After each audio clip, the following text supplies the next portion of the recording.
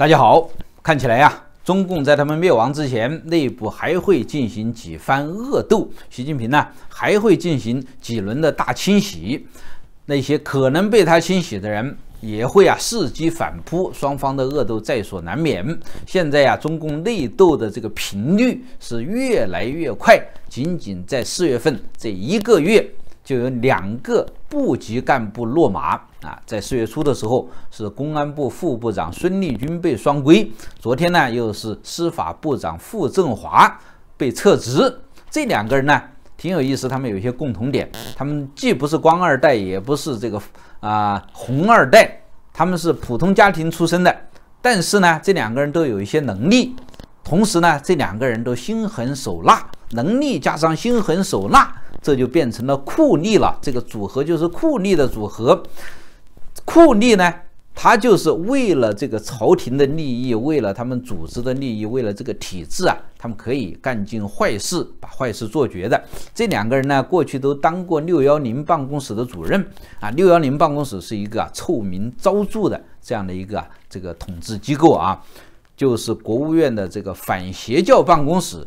在中共的眼里面，凡是不听他们话的，对他们政权构成了潜在的威胁的这些宗教组织，都是邪教。法轮功、全能神，还有基督教的某一些教派啊，还有这个民间宗教的一些教派，这些所谓的邪教，那就是他们打击的对象。那过去这二十多年呢，他们对于这些法轮功啊、全能神呢，这这个基督教的这个打击呢，是非常非常的残酷。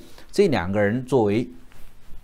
六幺零办公室的这个最高级的这个啊领导者，那手上是沾满了鲜血的，因为啊，他们为这个体制啊不惜作恶，而且呢非常的卖力，所以说啊他们升得很快，从普通家庭的平民子弟能够最后升到中共的这个部级干部，这个是非常少见的，非常不容易的，他们做到了。但是呢，他们做到了。不等于啊，他们一直能够啊停留在那个位置，或者是继续向上爬。他们为这个体制做了很多的坏事，不等于这个体制就能够啊啊以荣华富贵一直去来对待他们，来回报他们。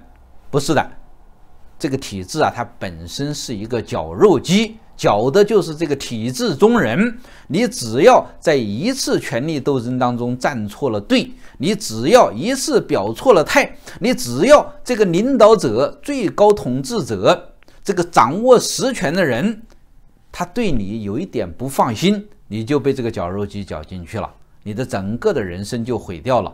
现在呢，孙立军是已经被双规，已经被抓起来了，最后的结局就是在秦城监狱啊，还有可能。被病死啊，被自杀。傅政华虽然现在还没有公布被双规的这个消息，但是我估计也不远了。如果他能逃过这一劫，那算是啊，他真是祖上积德，那是他天大的福气，能够做一个平头老百姓。现在啊，那他就是算是啊，三生修道了。我估计可能性极小。那以前有些人呢，就说这个傅政华呀是过去周永康的部下啊，后来呢是投靠了习近平，所以说啊一直能够混到现在啊，这个是不准确的一个说法。那个时候周永康在两千一零年之前啊一二年之前，周永康确实是有很长一段时间主管政法机构，而这个傅政华呢一直是北京的这个公安系统里面任职的。他们两个是有上下级关系，但是呢，他们两个中间呢隔着好几个级别，所以说啊，相互之间没有太多的交集，没有直接的那种紧密的联系。不是周永康的人，他是谁的人呢？他是王岐山的人。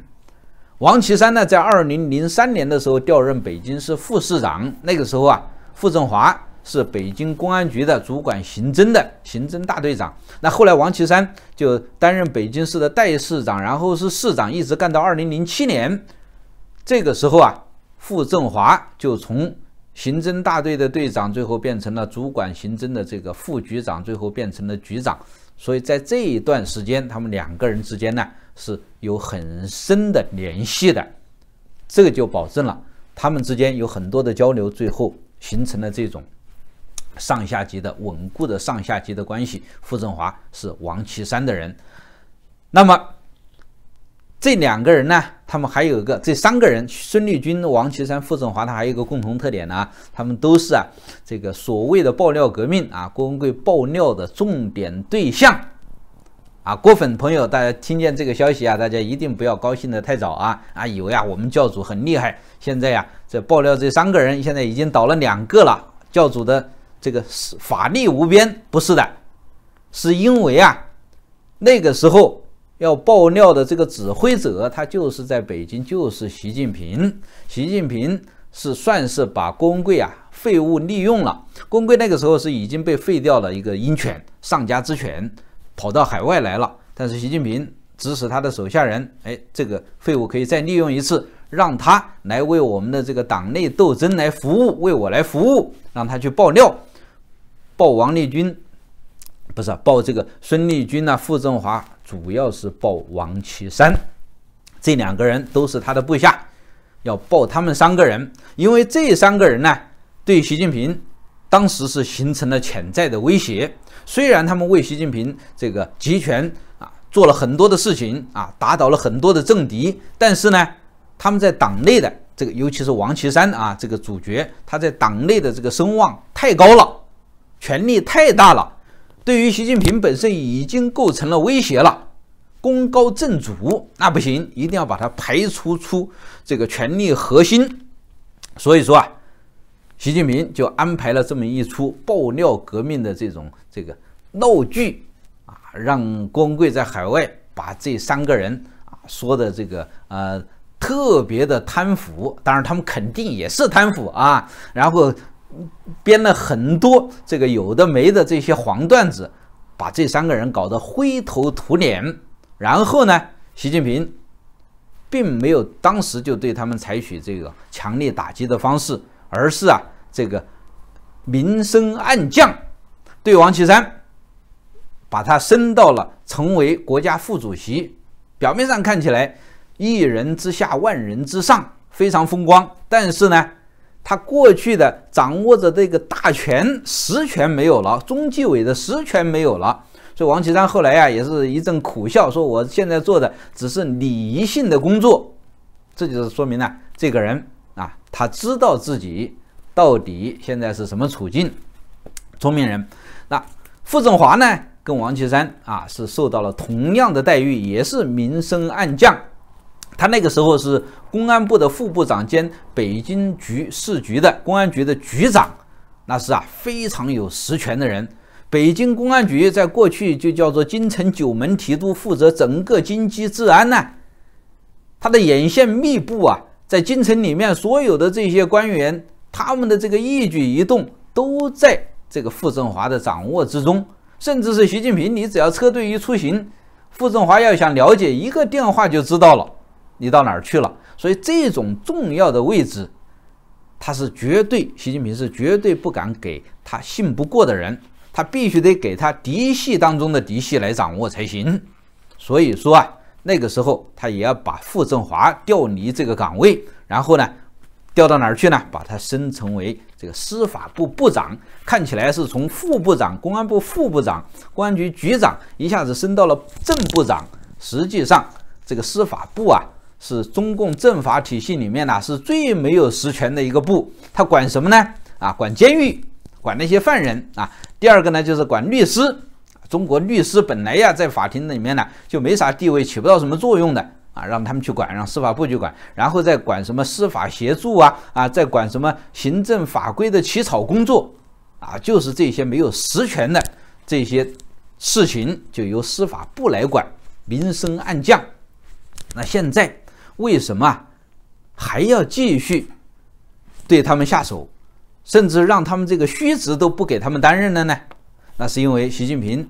感觉到现在啊，这个决战快要来临了，他必须得采取更大的动作，把任何对他有任何潜在的威胁，哪怕是只有一丝一毫威胁的人，都得干掉，不愿意留下任何隐患。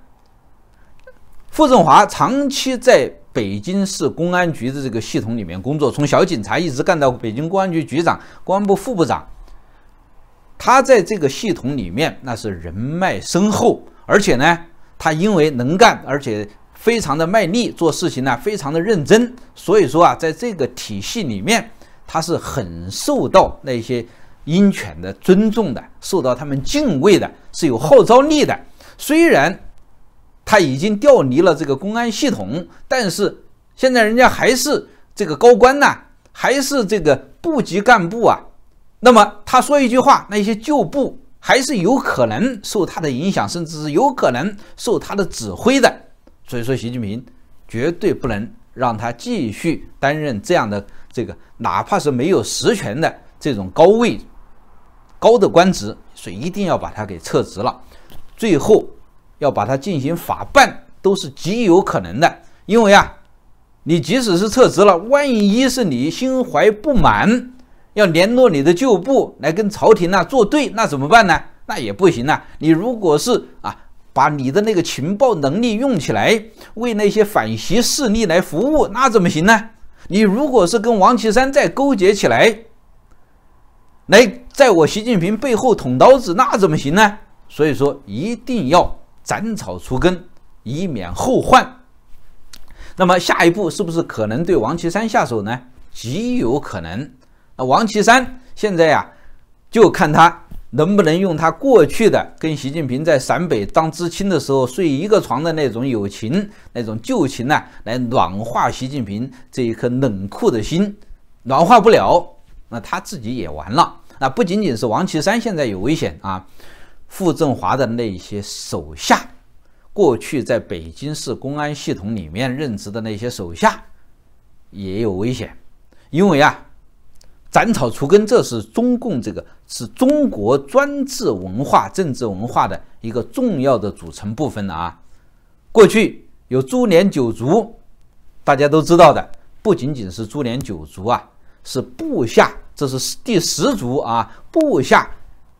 这个亲信，这是也要被株连的，一定要这个跟这领导一起完蛋的。孙立军呢是在四月初就被抓的，但是呢，一直到四月二十号，中共官方才公布消息。那么这么长的时间，十几天时间，他们去干什么去了呢？去抓孙立军的部下。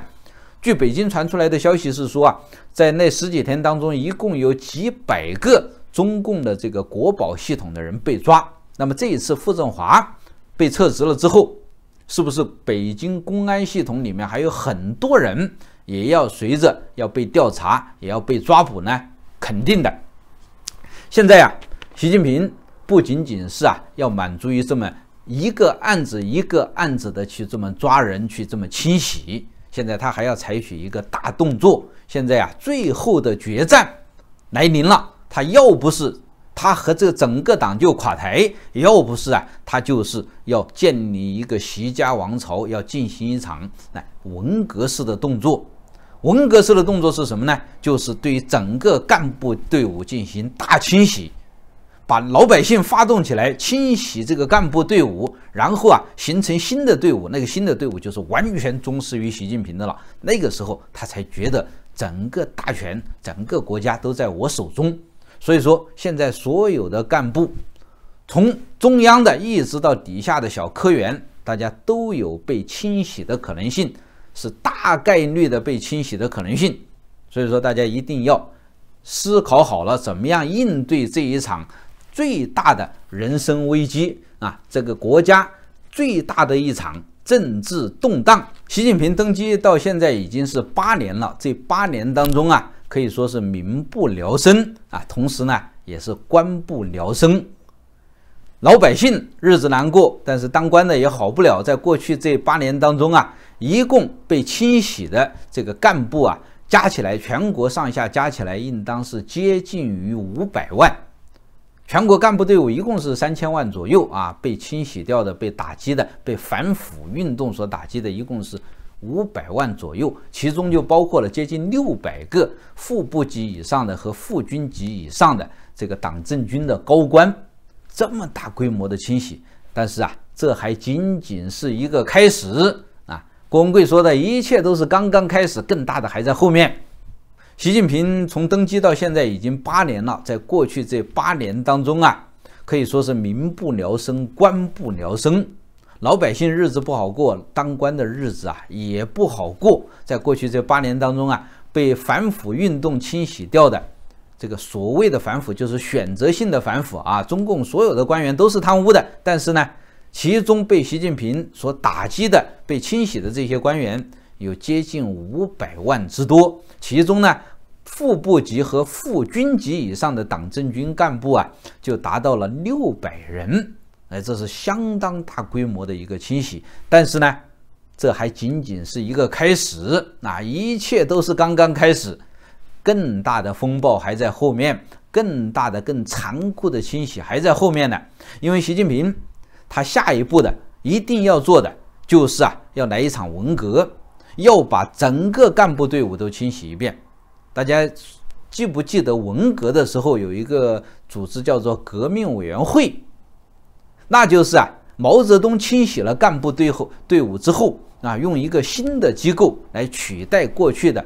旧的干部机构，所有的革委会那些人都是新提拔起来的，新提拔起来的那些人，他才能够忠实于这个提拔他们的这个领袖，就跟毛泽东他当时一样，他感觉到革委会掌握了权力，他自己才觉得整个国家在他的掌握之中。同样，习近平今后也要。旧的干部体制给彻底的打垮，同时要建立一套新的干部体制。那个时候，他才觉得他真正的习家王朝才建成了。那么，这个习家王朝是建立在中共的这个大量的这一些被清洗的干部的尸骨之上的。大家一定要明白你们现在的处境，一定要意识到未来对你们意味着什么。中国过去啊，只有老百姓被叫做草民。百姓的命跟草一样卑贱，今后呢还会出现草官，今后官僚的这个命也会像草一样卑贱啊，会被随意的清除、随意的斩杀，这就是你们未来的命运。所以说啊，今后官僚和这个老百姓日子都会非常非常的难过，大家。真正的就形成了一个命运共同体了，不要再互相残杀了，不要啊官僚队伍啊不要再去欺压老百姓了，必须得跟老百姓联手起来，把民变搞起来，来阻止习近平的。这个现在的这个新文革啊，阻止习近平把中国变成朝鲜，阻止习近平祸害老百姓，同时也祸害这个官僚队伍，跟老百姓站到一起，改变这个国家，这是大家共同的出路。同时呢，大家也不要怕，说我们过去做过这么多坏事，会不会被报复？做过坏事，只要你们做足够的好事去弥补啊，去赎罪，那过去。那些坏事不就被洗白了吗？你们今后不就会有前途了吗？总比被习近平啊送进监狱、送上断头台要好得多嘛！现在啊，最后的机会就在今后的半年、一年之内，就看大家怎么做了。未来是掌握在自己的手中的啊！虽然这个形势对所有的人都很不利，但是在这个时候啊，绝地求生。机会还是非常多的。好，那我今天呢就讲到这里，非常感谢大家的收听收看，我们下期节目再见。